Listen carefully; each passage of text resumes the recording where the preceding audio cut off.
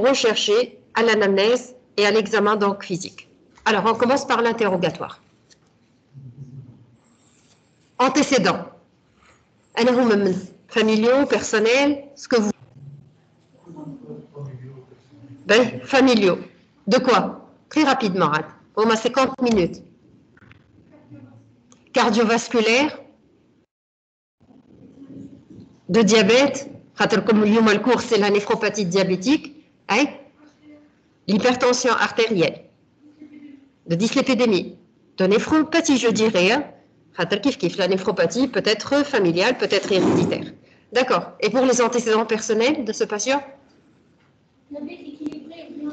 Vous recherchez donc si son diabète il est équilibré ou pas. Quoi d'autre? Quoi d'autre? Les comorbidités? Oui, d'accord. Quoi d'autre pour le diabète On a fait diabète. Mais que tu vas la chercher à l'examen clinique déjà. Mais par rapport au diabète, toujours. je تكون في stage lui. Ben, on cherche quoi Fait diabète. Le traitement théo, c'est très important. Allez, quoi d'autre On recherche les complications dégénératives c'est important. Je les complications dégénératives que vous allez chercher. Pardon? La rétinopathie, donc la micro-angiopathie diabétique, telle que la rétinopathie, telle que la neuropathie diabétique, c'est kif kif, et la néphropathie diabétique. Peut-être le patient est déjà suivi et connu, mais et vous recherchez également la macro-angiopathie. Donc, l'interrogatoire doit être complet. Vous recherchez effectivement donc les antécédents d'HTA, de diabète, de maladie générale, le retentissement de ce diabète, en matière de micro et de macro-angiopathie. C'est également important de vérifier la liste des médicaments qui sont pris. Donc, si jamais vous avez une substance toxique quelconque, donc également, vous regardez le, mode de vie de votre patient. Est-ce qu'il est tabagique? Est-ce qu'il est alcoolique? Est-ce qu'il est sédentaire? C'est quoi que sa profession? Est-ce qu'il a une exposition professionnelle quelconque pour expliquer la symptomatologie qu'il a Alors, je vais euh, vous donner donc les examens euh, les données de l'interrogatoire. Donc, vous avez un père aux antécédents familiaux euh, est suivi pour insuffisance rénale chronique décédée. Et pour les antécédents personnels, c'est un patient qui est diabétique depuis 20 ans, qui est au stade de complications dégénératives à type de rétinopathie diabétique et de neuropathie diabétique. Il est sous glucophage et sulfamide, donc sous antidiabétique oraux. Il est hypertendu depuis 4 ans, euh, sous amlodipine, tabagique 20 paquets années et il travaille comme euh, instituteur. Alors, donc, vous n'avez pas de pathologie par ailleurs hépatique, puisqu'on est, euh, la symptomatologie initiale, je reviens vers juste la diapositive numéro 1. le patient consulte pour un syndrome œdémateux. Donc, on est dans un tableau d'œdème généralisé. Et je vous rappelle, face à un tableau d'œdème généralisé, c'est qu'on a trois grands têtes de chapitre. Elihuma. Soit l'œdème est en rapport avec une atteinte cardiaque, ou elle rénale, ou elle hépatique. Donc c'est pour cela que l'interrogatoire doit également préciser. Donc si on a donc des antécédents d'hépatopathie ou de cardiopathie. Donc là vous avez les éléments. Je reviens juste à la plaque précédente. Il n'y a pas de pathologie hépatique qui est connue. Vous n'avez pas non plus de pathologie pulmonaire ou cardiaque et on n'a pas de maladie. Et euh, vous avez donc l'histoire de, ce patient. Donc, il a un œdème des membres inférieurs euh, qui est apparu donc depuis euh, quelques mois déjà. Et je vous donne donc les examens cliniques, les données de l'examen clinique. Donc, sa tension artérielle est à 180 sur 90 mm de mercure. Il a un œdème euh, des membres inférieurs de type rénal, ça veut dire blanc mou, gardant le godet déclive, indolore et symétrique. Il a un poupée d'yeux hypocluté aboli. Et ça euh, démontre quoi? Le fait d'avoir des poux abolis. Ça renseigne sur quelles complications euh, dégénératives du diabète la macro-angiopathie, l'artériopathie des membres inférieurs, qui est souvent donc associée euh, au diabète. Donc, vous avez un pouls, euh, pas de signe d'insuffisance cardiaque, droite, vous n'avez pas d'acide, et à la bandelette urinaire, vous avez une protéinurie à trois croix, hématurie à une croix, leucocyturie à une croix. Donc, d'après vous, donc on va rattacher l'œdème à quoi? L'œdème rénal. Vous êtes d'accord, on l'est Que l'œdème est euh, en rapport avec une atteinte rénale. Je connais les contre, ça, déjà. Fait l'état prédit, là où on est. Coucou. Alors, pour les autres, pourquoi? On est en droit de rattacher le syndrome œdémateux qu'a ce patient à une atteinte rénale et plus précisément à une atteinte de type glomérulaire. Pourquoi? Voilà. L'examen clé pour sortir euh, de cette discussion diagnostique, est-ce qu'on est dans une atteinte cardiaque, est-ce qu'on est dans une atteinte hépatique? Ou on est dans une atteinte néphrologique glomérulaire, c'est cette bandelette urinaire et la présence de la protéinurie. Donc le fait qu'on ait une protéinurie à la bandelette, ça veut dire que l'atteinte elle est glomérulaire et ça veut dire que le tableau œdémateux que vous avez est en rapport avec une atteinte tout simplement glomérulaire. D'accord? D'autant plus que vous n'avez aucun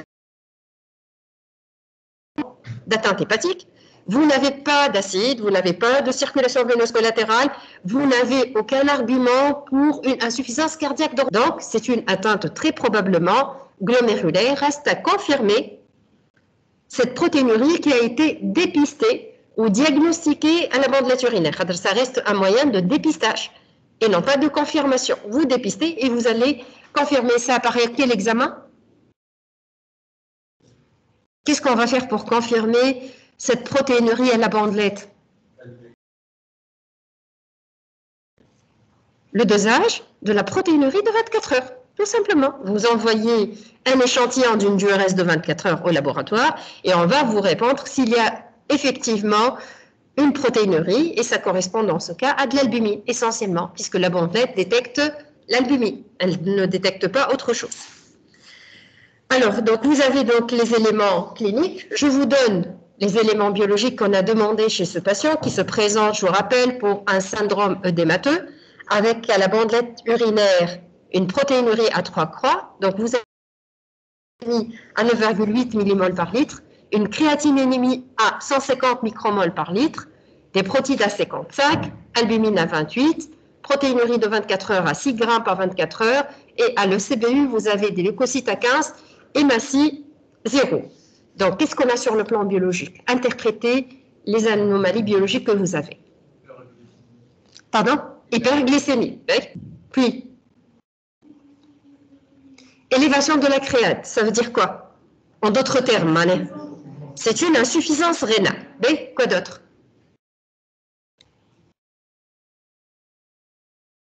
Alors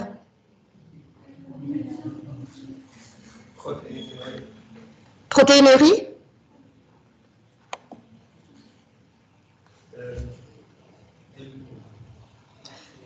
C'est tout simplement une protéinurie Est-ce que vous avez un syndrome qu'on peut... C'est un syndrome néphrotique. Quelle est la définition du syndrome néphrotique Protidémie inférieure à 60, albumine inférieure à 30 et protéinurie de 24 heures supérieure 3 grammes par 24 heures. 3 grammes. Donc on a un syndrome néphrotique. Est-ce qu'il est pur ce syndrome néphrotique ou impur alors, impur. Quels sont les éléments d'impureté? L'HTA et l'insuffisance rénale. Vous avez trois éléments d'impureté d'un syndrome néphrotique en général. L'hématurie, l'insuffisance rénale et l'HTA. Là, on a deux éléments d'impureté qui sont l'HTA et l'insuffisance rénale. D'accord? Donc, ce patient présente sur le plan biologique une insuffisance rénale avec un syndrome néphrotique impur. D'accord? Alors, on va euh, avancer avec ce patient. Il a eu une échographie rénale et l'échographie rénale montre deux reins de taille normale. Alors, est-ce que quelqu'un peut nous résumer la situation actuelle? Ah, sinon, on va désigner.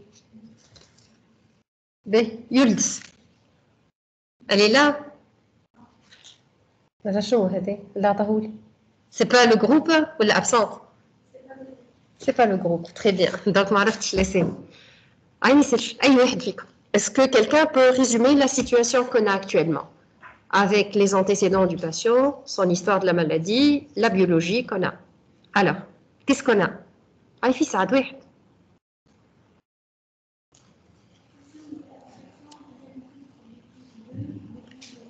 قوي صوتك شويه والله بالبابات مش خالط D'accord. Tableau de DEM. Clinique, ça. Il a une HTA sévère, hein, donc c'est hein, un grade 3. Artériopathie, des complications dégénératives à type d'artériopathie, de la macroangiopathie.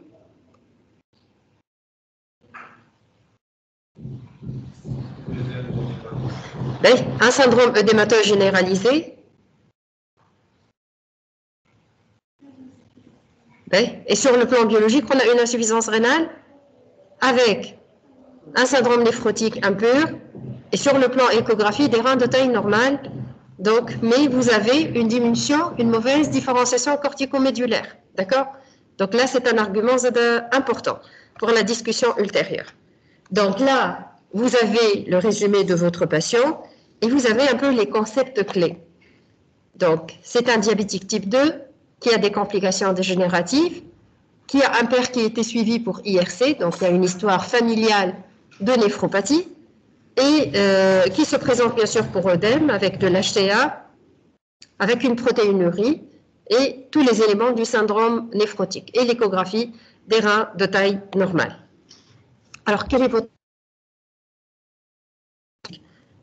on est, dans le, normalement le sujet. Je vais la règle. C'est une néphropathie diabétique. Quels sont les éléments pour le diagnostic positif de la néphropathie diabétique, grâce à laquelle vous avez retenu ce diagnostic?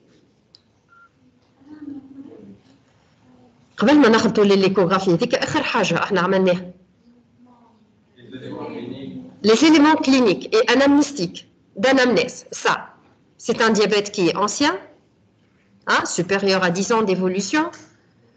Vous avez les complications dégénératives, puis un antécédent familial probablement, comme le père était diabétique, probablement de néphropathie diabétique déjà dialysée dans la famille. Hein, et on sait qu'il y a une prédisposition familiale à la néphropathie diabétique, oui.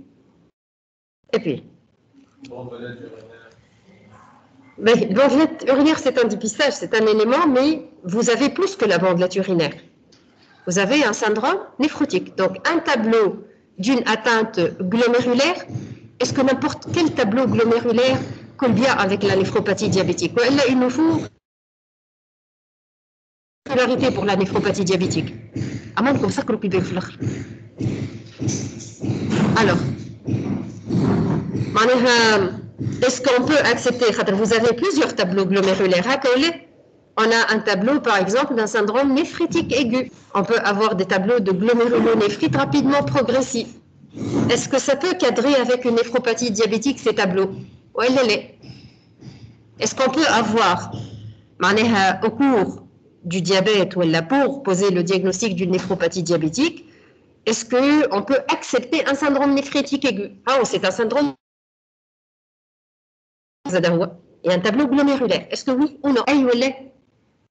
Le syndrome néphritique aigu lait Rite GNA post-infectieuse Vous ne l'avez pas eu Sûr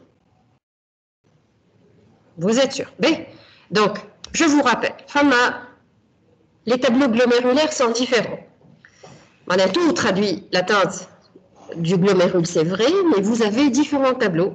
On peut avoir ce qu'on appelle un tableau de syndrome néphritique aigu, qui associe œdème d'installation brutale, une protéinurie, une hypertension artérielle, une insuffisance rénale, avec une hématurie oligurie.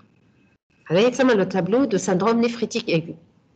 Vous avez le tableau de glomérulonéphrite.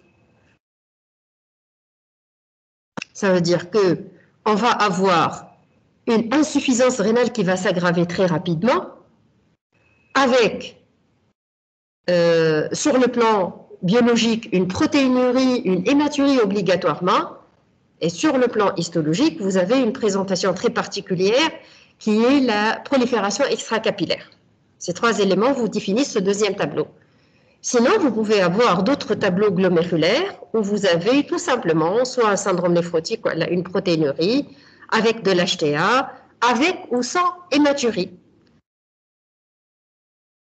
Sûr, au cours de la néphropathie diabétique, on ne peut pas avoir de syndrome néphrétique aigu pour poser le diagnostic. Un malade qui a une néphropathie diabétique peut faire autre chose. Mais pour poser le diagnostic de néphropathie diabétique, en aucun cas on accepte l'hématurie comme élément associé au tableau glomérulaire. Ça veut dire qu'il n'y a jamais d'hématurie au cours de la néphropathie diabétique. Donc, on ne peut avoir ni tableau de glomérulonéphrite rapidement progressif, ni de syndrome néphritique aigu, ni d'hématurie tout simplement associée à un syndrome néphrotique pour pouvoir poser le diagnostic de néphropathie diabétique. D'accord? Sinon, ça euh, doit faire penser à autre pathologie associée éventuellement à la néphropathie diabétique. Donc, pour résumer, la néphropathie diabétique est un tableau glomérulaire sans hématurie. D'accord? Et c'est pour cela que la bandelette, d'ailleurs, vous n'avez pas d'hématurie, mais également, donc, à l'ECBU, vous avez une leucocyturie qui est assez fréquente, une leucocyturie aseptique au cours de la néphropathie diabétique, et vous n'avez pas d'hématurie. D'accord? C'est clair? Pas d'hématurie au cours de la néphropathie diabétique. Le syndrome néphrotique peut être impur par l'HTA, par l'insuffisance rénale, mais jamais d'hématurie. Alors, donc là, je dis que c'est un diagnostic de présomption, que vous allez le poser devant euh, l'existence notamment de caféinio éventuellement, devant un diabète qui est ancien, qui est au stade de complications dégénératives, associé, euh, bien sûr, tout euh, représente un tableau glomérulaire sans hématurie, et vous n'avez pas, bien sûr, d'autres éléments ou signes cliniques qui orientent vers d'autres pathologies. On a un tableau glomérulaire, bien sûr, sans hématurie. Il ne faut pas qu'il y ait un purpura, par exemple, associé ou bien un érythème en vespertilio. Là, ça va vous orienter vers d'autres pathologies. Au cours du diabète, vous n'allez trouver comme signes extra-rénaux que les signes en rapport avec le diabète tout simplement. Une rétinopathie, une neuropathie diabétique, une artériopathie, et c'est tout. D'accord? Donc tout ça vous permet de poser bien sûr le diagnostic de euh, néphropathie euh, diabétique. Alors pourquoi ça n'avance pas? Donc là, on a bien sûr donc la néphropathie diabétique qui constitue donc la première cause d'insuffisance rénale euh, chronique donc partout euh, dans le monde et ça fait partie de la micro-angiopathie. Alors, pour cette pathologie, euh, comme elle est une pathologie qui constitue un tournant grave de la maladie diabétique, hein, elle alourdit le pronostic et en plus elle va être associée à une forte mortalité, c'est pour cela que ça justifie un dépistage. Donc, et le dépistage de la néphropathie diabétique passe par quels euh, paramètres On peut dépister et commencer à rechercher la néphropathie pour pouvoir la prévenir et la traiter par quel élément biologique Et le bandelette. le bandelette, qu'est-ce qu'elle détecte L'albumie. Hein? Et ça détecte ce qu'on appelle la macroalbuminurie il faut que déjà la protéinurie soit supérieure à peu près à 0,3 à 0,5 pour que la bandelette soit positive. Et donc là, on sera déjà à un stade, je vous rappelle, plus avancé de la néphropathie diabétique et c'est même pas le dépistage. Hein. Donc en aucun cas, le dépistage se base au cours du diabète narquir sur la bandelette urinaire. Non. C'est par le dosage de la microalbuminurie, tout à fait. Donc c'est un dosage urinaire. Et donc là, la microalbuminurie, donc effectivement, c'est le premier marqueur de la néphropathie diabétique qu'on va rechercher. Il n'est pas recherché, bien sûr, par la bandelette urinaire du tout. Il est recherché par le dosage sur soit un échantillon urinaire, soit des urines de nuit, soit sur les urines de 24 heures. D'accord? Et donc là, c'est le premier marqueur. Mais sachez également qu'en dehors de la néphropathie diabétique, la microalbuminurie constitue un marqueur de risque cardiovasculaire également. Donc, le fait d'avoir de la microalbuminurie, euh, ça signe que votre patient est à haut risque cardiovasculaire. Et en matière de néphropathie diabétique, c'est le premier marqueur à rechercher pour détecter la présence, bien sûr, d'une néphropathie diabétique et qui va justifier le démarrage d'un traitement euh, approprié. Donc là, euh, je vais passer donc sur cette diapositive. Donc, la néphropathie diabétique, comme euh, on a déjà dit, c'est une atteinte glomérulaire. ça va se traduire sur le plan biologique par l'apparition de cette microalbuminurie. Donc, et vous avez donc la définition de la microalbuminurie qui aura une valeur entre 30 et 300 mg par 24 heures. Et euh, à partir de ce moment-là, dès que la microalbuminurie va apparaître, on va assister à une augmentation progressive de sa valeur jusqu'à la macroalbuminurie, voire même donc le syndrome néphrotique. Puis donc apparaîtra euh, en parallèle donc une hypertension artérielle qui ne va que alourdir donc le pronostic donc, du patient et bien sûr, donc par la suite, on va voir que la filtration glomérulaire, je vais vous montrer l'histoire naturelle donc, de la néphropathie diabétique. Donc, on va assister, après l'apparition de la microalbuminurie, puis l'apparition de l'HTA, à, un début de dégradation de la fonction rénale avec une diminution du débit de filtration euh, glomérulaire. Euh, alors, pour la microangiopathie, on a dit que vous avez la rétinopathie, la neuropathie et vous avez la néphropathie. Alors, chez le diabétique type 1, pratiquement on est à 100% de rétinopathie diabétique et la rétinopathie diabétique précède toujours la néphropathie. D'accord? Alors que pour le type 2, on est euh, le type 2, donc le diabétique type 2, donc uniquement 70% des cas maximum, vous avez la rétinopathie. Ça veut dire qu'on peut avoir la néphropathie diabétique chez un diabétique type 2 sans avoir la rétinopathie diabétique dans à peu près 30% des cas. Alors que c'est constant, la rétinopathie, elle est constante au cours du diabète de type 1. Euh, Et donc, je reviens vers euh, le diagnostic de la néphropathie. Ça commence par la microalbuminurie. Euh, elle peut être dosée soit sur un échantillon et on fait donc ce qu'on appelle un ratio albumine sur créatinine. Et là, on aura donc les valeurs en milligrammes d'albumine par milligramme de créatinine. Et euh, là, normalement, on est à moins de 30 mg d'albumine par milligramme de créatinine. Donc, on parle d'une microalbuminurie, c'est cette valeur est entre 30 et 300. Donc, milligrammes, euh, bien sûr, d'albumine par milligramme de créatinine. Et euh, on passe vers le stade de macroalbuminurie si on est au-dessus de 300 mg par milligramme. Lorsqu'on regarde les urines de 24 heures, là, c'est pratiquement la même chose. Donc, entre 30 et 300, c'est la microalbuminurie. Et si on est supérieur à 300 mg d'albumine par 24 heures, on est dans la macroalbuminurie. D'accord?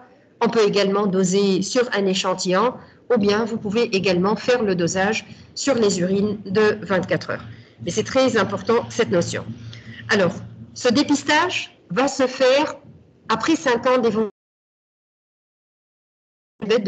Parce qu'on sait que le diabète type 1, quand est-ce qu'il a débuté? Et on sait qu'en aucun cas, on peut avoir une microalbuminurie qu'à partir de la cinquième année d'évolution du diabète. D'accord? Alors que si on parle d'un diabète type 2, vous savez qu'un diabétique type 2 peut être méconnu pendant des années et c'est pour cela que dès qu'on fait le diagnostic d'un diabète type 2, vous faites systématiquement le dépistage de la microalbuminurie. Alors, si pour un diabétique type 1, à partir de 5 ans, vous faites le dosage. Pour un diabétique type 2, dès le diagnostic, si c'est négatif, on va répéter les dosages tous les ans, ultérieurement. D'accord? Si c'est positif, bien sûr, on va prendre en charge comme néphropathie diabétique. OK? Donc, diabète type 1,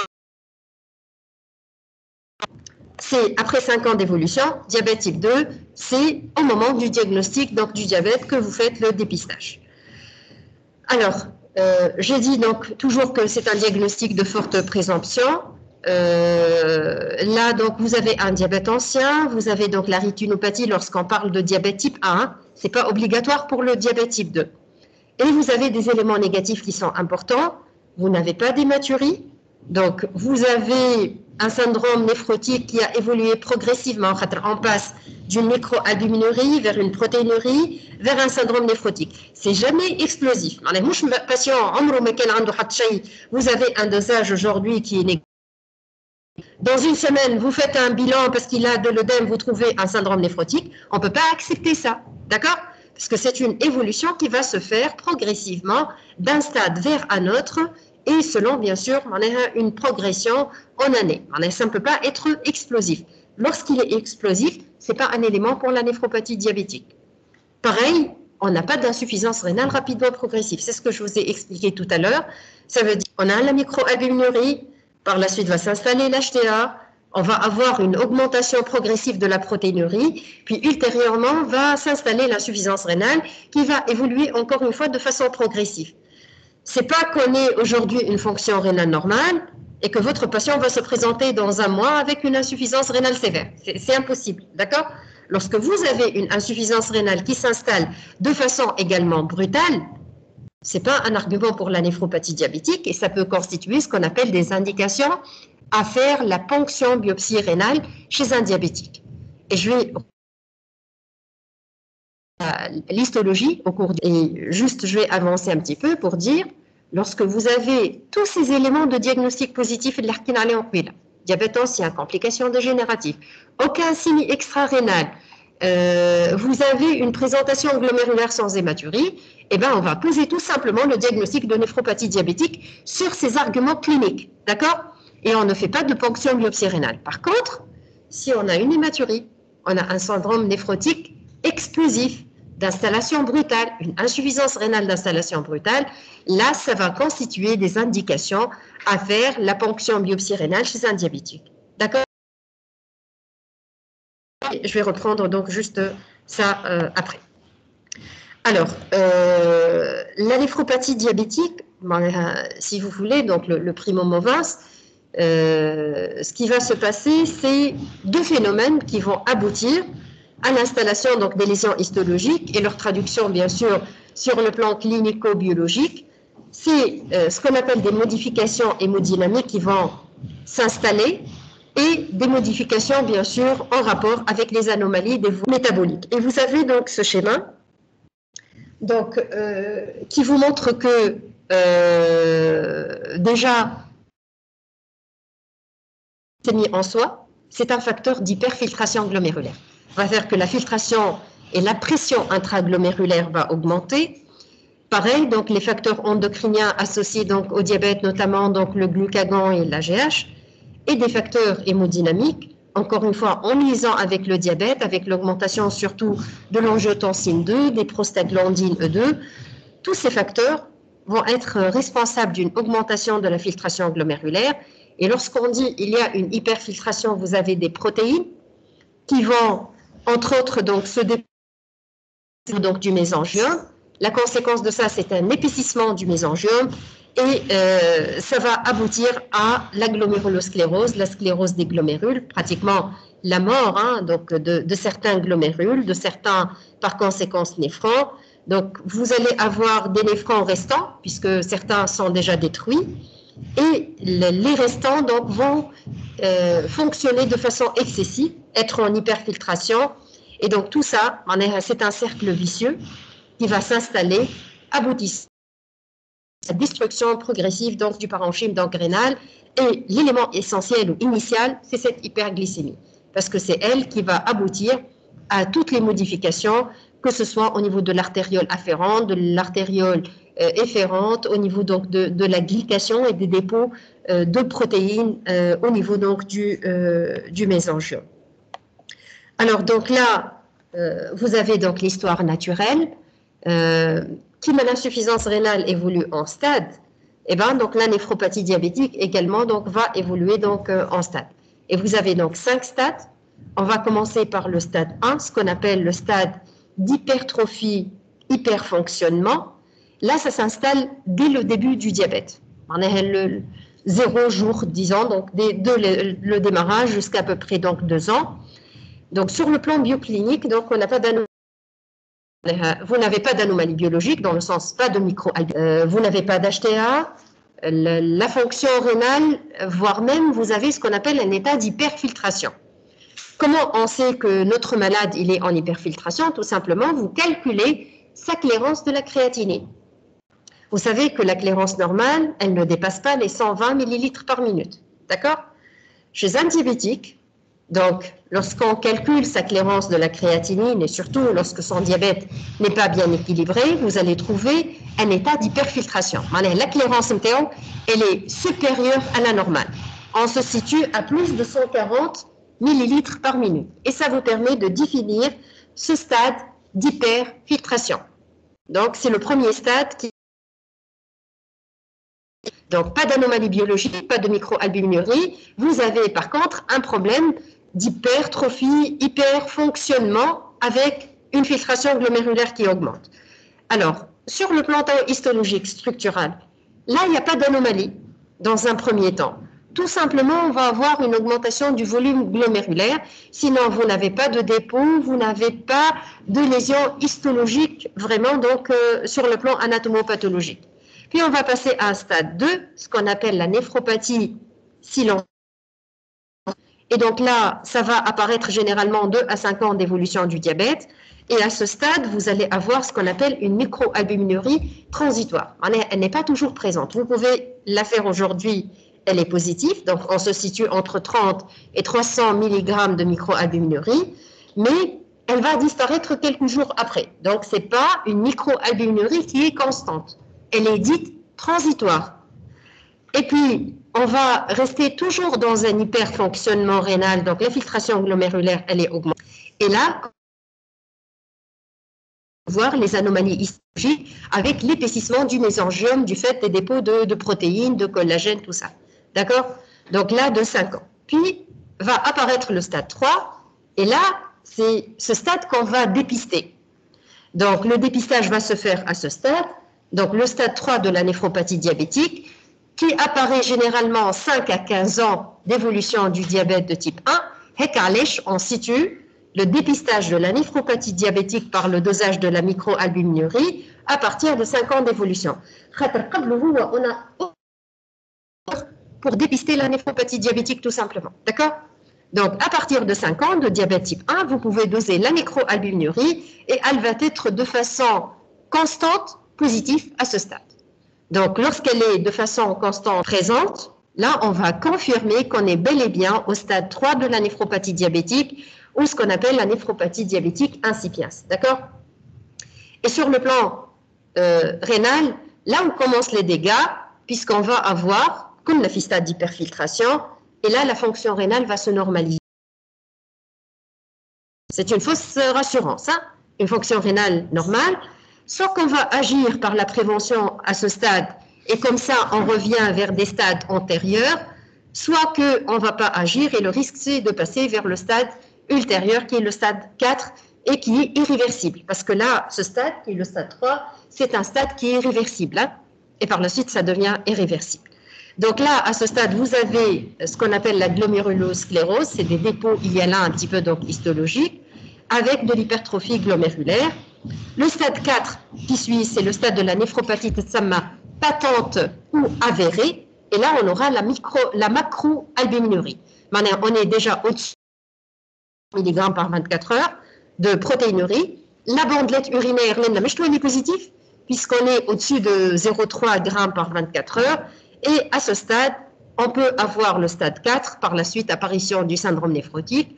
Vous avez à peu près 80% des patients qui deviennent hypertendus à ce stade. Donc vous avez dans 50% le syndrome néphrotique et dans 80%. Et là, on va assister à un début donc, de diminution du débit de filtration glomérulaire, donc de l'insuffisance rénale chronique, et où les lésions histologiques sont plus parlantes, de la glomérulosclérose qu'on appelle diffuse, et suite à ça, vous avez donc la classe euh, ou le stade 5, plus de 20 ans d'évolution euh, du diabète. Et là, donc, vous avez donc des euh, biologiques qui sont essentiellement l'insuffisance rénale chronique terminale et là, à l'histologie, on va assister à des lésions de chronicité avec de l'atrophie tubulaire, avec de la euh, glomérulodonc-sclérose. Et donc, c'est un stade d'insuffisance rénale chronique. D'accord? C'est les cinq stades d'évolution. Là, c'est bien vrai pour. On peut les suivre chez un diabétique type 1. Ce n'est pas toujours le cas chez un diabétique type 2. le diabétique type 2, vous diagnostiquez la néphropathie diabétique à un stade 5. Il reste méconnu jusqu'au jour où un bilan rénal, une insuffisance rénale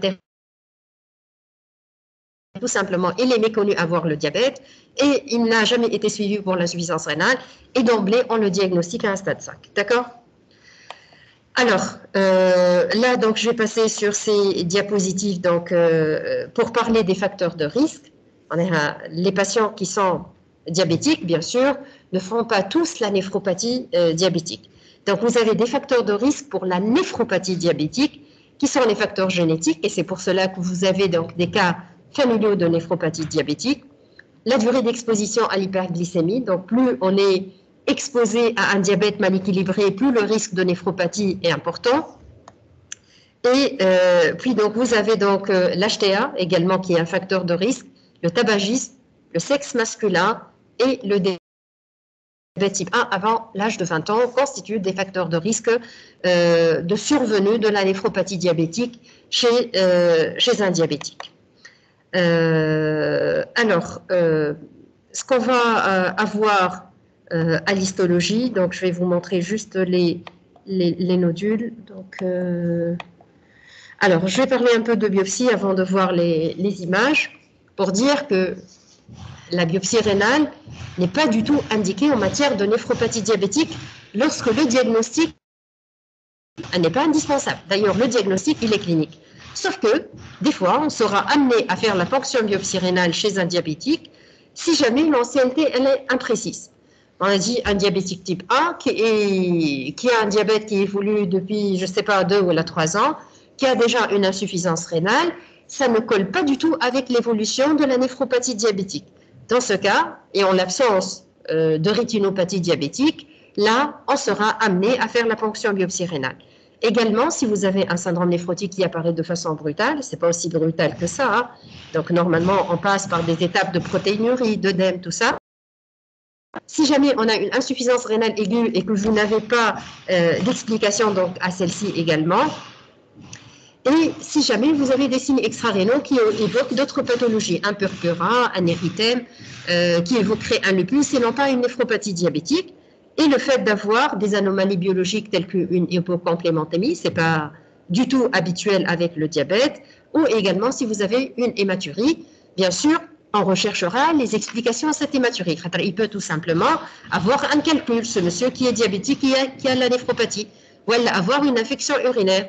Donc vous traitez l'infection urinaire, vous contrôlez encore une fois, mais si l'hématurie persiste, ça justifie la réalisation du ponction biopsie rénale. D'accord? Donc là, l'hématurie est une indication à la PBR chez... Alors, euh, là, vous avez un peu donc l'aspect histologique, mais retenez un petit peu que sur le plan histologique, vous allez avoir des dépôts au niveau du mésangiome, euh, secondaire en fait à l'accumulation de glycoprotéines. Hein. donc, euh, suite à cette hyperglycémie avec euh, toute la, stimulation donc de, cytokines. Et en microscopie, ce qu'on va avoir, c'est la glomérulosclérose. Ce que vous voyez, ça, donc c'est cette accumulation, donc ce qu'on appelle donc la glomérulosclérose. Euh, et puis donc cette euh, atteinte peut être diffuse, on à toucher tout le mésangiome, ou être localisée au début, donc et on appelle que c'est un peu donc focal. Ça peut être organisé en nodules et c'est ce qu'on appelle les lésions spécifiques de euh, nodules de Kumil-Steele et euh, Wilson, donc qui sont spécifiques du, euh, du diabète. Donc là, c'est les lésions histologiques. Et donc là, vous avez encore une fois l'aspect histologique. L'immunofluorescence n'est pas spécifique. Hein. C'est des dépôts non spécifiques qui peuvent se voir de la néphropathie diabétique, mais ce n'est pas du tout spécifique. Alors, ce qui est important en matière de néphropathie diabétique, c'est surtout la prévention. Parce que le fait de dépister précocement, vous permet d'instaurer des traitements qui peuvent éviter le passage vers des stades euh, plus graves de la néphropathie diabétique. Et là, pour la prévention, sachez que vous avez bien sûr plusieurs, euh, plusieurs possibilités. Déjà, il y a ce qu'on appelle la prévention primaire. Je m'en ai. C'est le fait d'essayer de faire tout pour que carrément la microalbuminurie n'apparaît pas. C'est agir sur les facteurs de risque en fait de la néphropathie diabétique. Donc, comme on sait que l'hyperglycémie c'est un des facteurs, donc il faut un bon contrôle glycémique. L'HTA c'est un facteur un bon contrôle euh, de la tension artérielle. L'obésité, vous avez euh, des choses qu'on ne peut pas changer, hein, donc sexe masculin, mais par contre, on peut agir sur le tabagisme. Et on sait que le tabac va favoriser donc l'apparition de la néphropathie. Et donc là, c'est agir à ce niveau pour carrément prévenir l'apparition de cette microalbuminurie. Alors par la suite, euh, vous avez ce qu'on appelle la prévention tout simplement secondaire, puisque vous avez des anomalies qui apparaissent. Et on commence bien sûr par la prévention, c'est celle du passage de la microalbuminurie vers la macroalbuminurie. Donc là, il faut vraiment donc agir, et c'est pour cela qu'on dépiste la microalbuminurie. Puis par la suite euh, viendra la, prévention euh, tertiaire en fin de compte, c'est lorsque vous avez déjà une néphropathie à un stade plus avancé, avéré, stade 4, c'est euh, essayer de ralentir le maximum la progression de l'insuffisance rénale vers le stade terminal. Donc là, ça devient donc vraiment du tertiaire et on va essayer donc de voir. Alors, la prévention primaire, je dis évitation donc de la microalbuminurie, donc déjà, donc c'est l'équilibre glycémique. Puis à partir de 5 ans, on va commencer le dépistage chez les diabétiques type 1 et à partir du diagnostic du diabète type 2 pour les diabétiques euh, type 2. Euh, euh, alors, pour la prévention, je dis le meilleur, c'est le contrôle glycémique. Et là, vous avez des recommandations, bien sûr, pour l'objectif glycémique. Le contrôle tensionnel, c'est très important la restriction de l'apport protidique. Euh, le blocage, bien sûr, c'est euh, là l'élément clé, c'est le blocage du système rénine-angiotensine-aldostérone et l'indication d'un traitement par les inhibiteurs de l'enzyme de conversion et les antagonistes des récepteurs de l'angiotensine 2. D'accord? C'est le traitement qu'on va instaurer dès le diagnostic de la microalbuminurie. Donc là, ça permet de faire disparaître cette microalbuminurie et revenir vers des stades antérieurs, stade 2, voire même un stade 1 de la néphropathie euh, diabétique.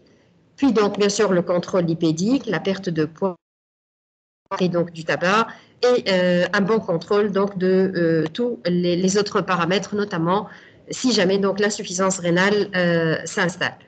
Et donc là, j'ai mis un petit peu ce qu'on est autorisé à utiliser, donc faites attention, lorsque l'insuffisance rénale euh, s'installe et qu'elle est sévère, vous avez les ADO qui sont contre-indiqués, notamment le glucophage et les sulfamides. Donc, euh, pratiquement, c'est l'insuline qui reste euh, autorisée euh, jusqu'au stade terminal de l'insuffisance rénale. Le contrôle tensionnel également, et donc là, plus vous avez une protéinurie importante, plus le contrôle tensionnel doit être strict, et on se situe bien sûr à des objectifs inférieurs à 130 sur 80 pour les patients qui sont diabétiques et qui ont des protéinuries qui sont supérieures à 1 gramme, euh, voire même selon les nouvelles recommandations, euh, vous avez donc des cibles qui sont un peu plus hautes, donc euh, entre 140 et 80 mm de, de mercure.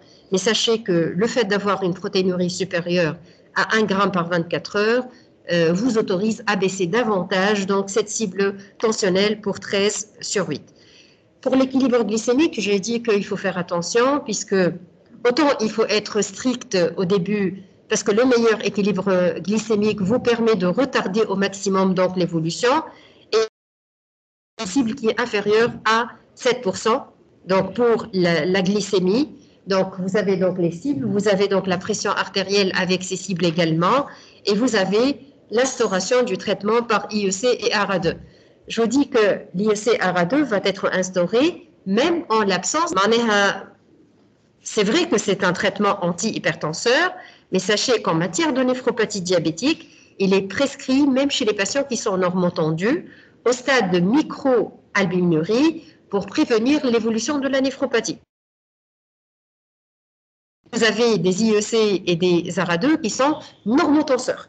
Maintenant, ils ne baissent pas de façon très très importante la tension artérielle, mais ça vous permet de faire euh, disparaître ou baisser au maximum la microalbuminurie.